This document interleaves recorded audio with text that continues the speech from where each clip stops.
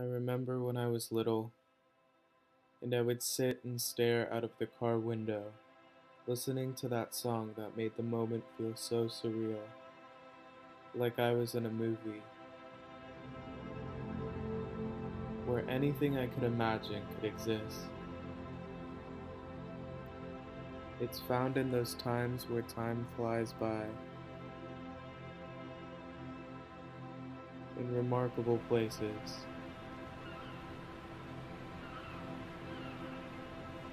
Or in complete silence. I've always been infatuated with watching movies. The way they have the power to transport you away from yourself and into a whole nother place. The way they have the power to play with your emotions. The stories they tell. But I also have stories to tell.